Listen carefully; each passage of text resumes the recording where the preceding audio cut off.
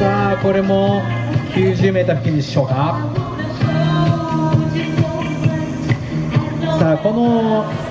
ね、スキージャンプ先ほどもね説明しましたけれども1本目そして2本目のトータルのポイントで順位が争われます。さあ杉山安田ンス